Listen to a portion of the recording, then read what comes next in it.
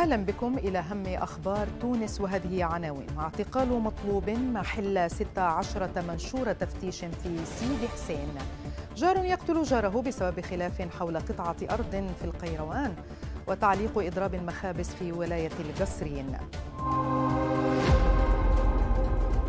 تمكنت الشرطة العدلية بسيد حسين من إلقاء القبض على مطلوب خطير محل 16 منشور تفتيش لفائدة وحدات أمنية وهياكل قضائية مختلفة.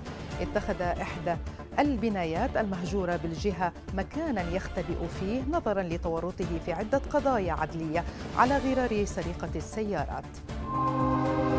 تمكنت وحدات أمنية تابعة للهيئة العامة للسجون من ضبط شاب قرب جهة الدهماني استطاع الفرار من السجن المدني بالكاف لتتم إعادته إلى السجن وفتح بحث تحقيقي للكشف عن ملابسات فراره.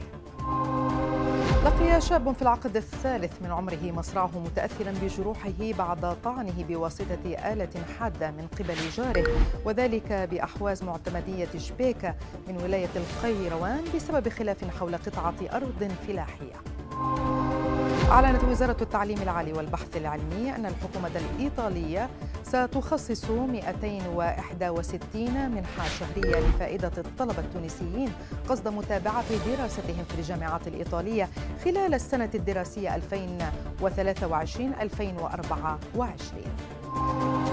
أكد رئيس الغرفة الجهوية للمخابز بالقصرين تعليق الإضراب المقرر في قطاع المخابز مضيفا أن السلطات المسؤولة وعدت بصرف مستحقات شهرين من المبالغ المتأخرة في ذمة الدولة للمخابز في الأيام المقبلة. توج الاتحاد المنستيري بلقب كأس تونس لكرة السلة بعد فوزه على النادي الأفريقي بنتيجة 60 مقابل 51 في مباراة الدور النهائي للكأس التي احتضنتها القاعة الرياضية المتعددة الاختصاصات في رادس. نهاية النشرة إلى اللقاء.